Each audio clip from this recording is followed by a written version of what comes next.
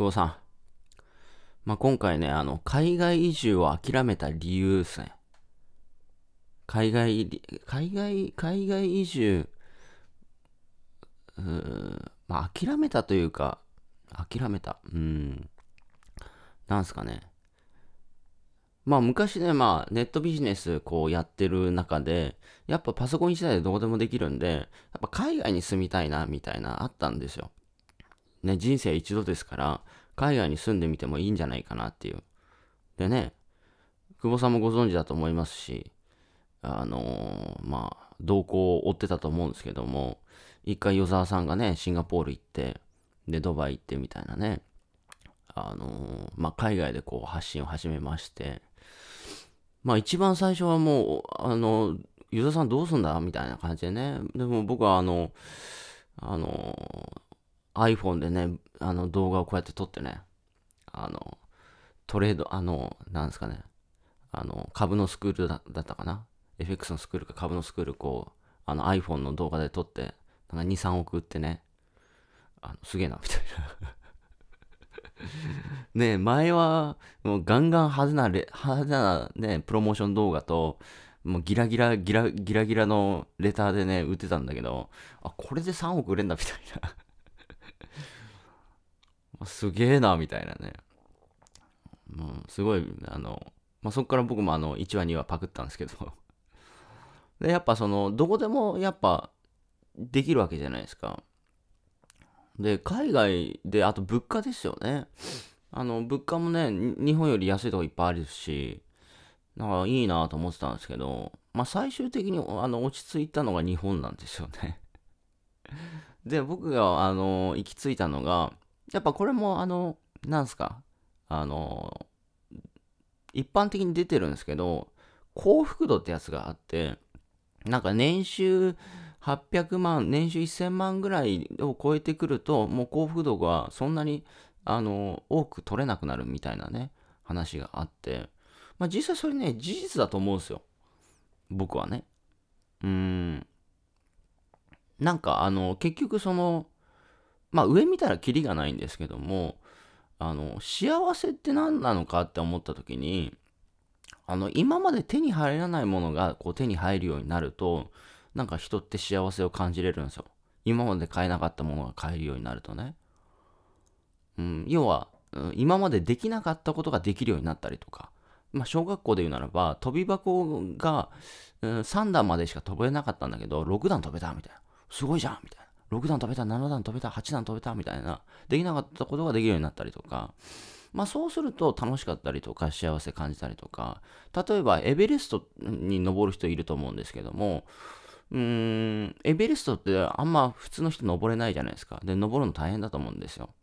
で、じゃあその、近所のね、公園の山に登ってね、おっしゃー、頂上来たぞっつってね、なんか5分ぐらいで登れるちっちゃい山へ登って 登れたぞおっしゃーってならないじゃないですか。まあその幸福の原理原則っていうのがなんか分かったというか、これは露骨にそのね、昔僕は貧乏な家だったんで、あの、買え、買いたいと思っても買えるものが少なかったんですよね。でも自分でお金稼げるようになって、ある一定の、あの、なんさ、ものは買えるようになってしまったので、なんかね、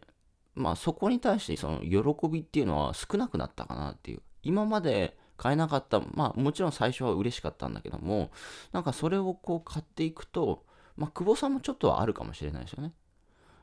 昔その買えなかったものが買えるようになって、うん、なんすかね。うん、まあ、久保さんの事例で言うならば、多分、まあ、久保さんじゃないとわかんないですけども、家を買った時の喜び、幸福度、わ、買えた。俺、ついに主だな、みたいな時の最大瞬間風速風速の喜びと、今ずっと家に住んでる時に、その最大瞬間風速がずっと続いてるかっていうと、多分それはないはずなんですよ。おそらく。まあ今もあ幸せを感じれる部分はあるけども、この最大瞬間風速がずっと続くっていうのは多分ないんですよね。慣れ、慣れちゃうから。うん。だから結局その、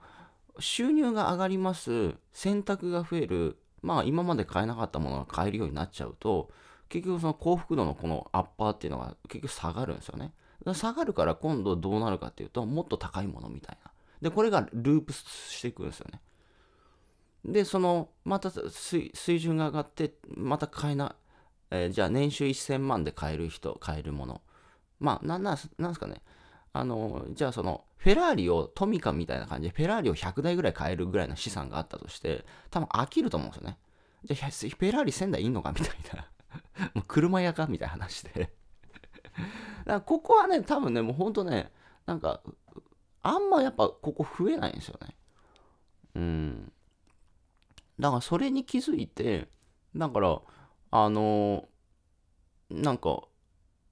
あの現状維持になりましたね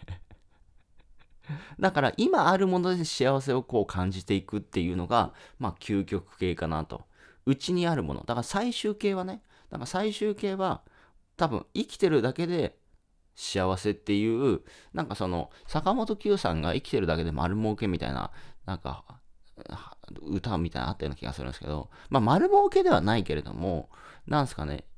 その花を見た時に綺麗だなとか、そのあるものですね。あるものから幸せを抜き取るというか、あるものから幸せを感じていく。昔まではないものを手に入れた時に幸せをこう感じていたんだけども、それの幸せだと限界があると。まあ限界があるというか、まあキリがないと。でも今持ってるものでありがたみとか感謝の気持ちを持つとかね、まあ古い言葉ですけど、まあそういうふうに感じれるようになると、あの、すごいいいんじゃないかなと思いますね。ただこれは、うん、行ききらないとね、ある一定を行かないと多分そこに行かないし、行く人と行かない人がいるし、さらにまた上、またさらに上って行く人もいるだろうし、まあ人それぞれかなと。で、僕の場合は、まあここでいいかなっていう。なんかその幸せの原理原則みたいな話ですね。うん。多分そうだと思うんですよ。ね、フェラーリをトミカみたいに、え あの1000台ぐらい買っても、そのうち飽きると思うんですよね うん。そう。じゃあ、フェラーリ1000台は愛愛せるかっていうと、多分愛せないですね。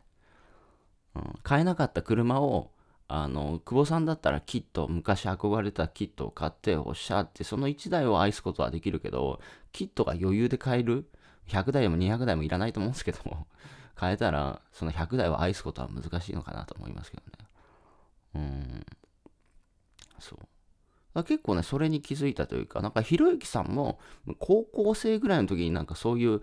人間のその構図、仕組みに気づいてしまったみたいな話を昔ちょろっとしてたんですよね。やっぱひろゆきさんすごいな、みたいな。まあ、そもそも原理原則どうなのかっていう人がどうなるとどうなのかみたいな。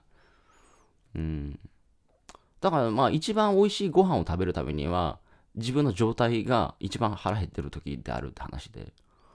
うん。だからそのミシュランの5つ星を食うっていうのもうまいかもしれないけども、自分の状態が、あの、もうお腹いっぱいでこれ以上食ったら、あの、ゲロ吐くっていう状態で、ミシュランの5つ星のレストラン行って、高級フレンチ食っても多分、もううまく感じれないと思うんですよね。だけど自分の状態が、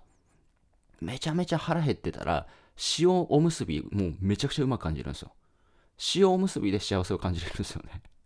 だから状態というか自分のその受け入れられるそのコップのビーカーですよね。このコップのビーカーが水がどういう状態なのかっていうとこですね。コップのビーカーの水がこう満たされている状態で水を入れようとしても溢れちゃうので、うん。でもね、僕はね、マルサの女っていうね、この、このマルサの女も好きなんですけど、マルサの女で最後ね、金持ちの人が、金持ちっていうのは、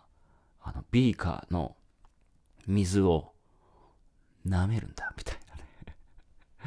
多くの人はこのビーカー溜まったら水飲んじゃうけど、金持ちっつうのはな、この、表面張力で置いてきて、この、ちょっと垂れたやつをこう舐めるんだ。そうすると、これはなくなんねみたいなね。金持ちってのはこうなんだ、みたいな感じです。なんかね、すごいあれは印象的でしたけどね。金持ちの理論というか、でもねの、でも、あの、一滴なんですよね。で、一滴を飲んで幸せを感じれるのか感じれないのかっていう。まあ、それも、あれですよね。あの、極限の生き切った人ですよね。多くの人は、こう、ごくごくごく、うまいっていうのやりたいわけじゃないですか。でももう生き切ってる人は一滴でその幸福を感じられるっていうすごいですよね。垂れてきた水一滴で幸せを感じれるみたいな まああれも生き切ってますよね。いってらっしゃい。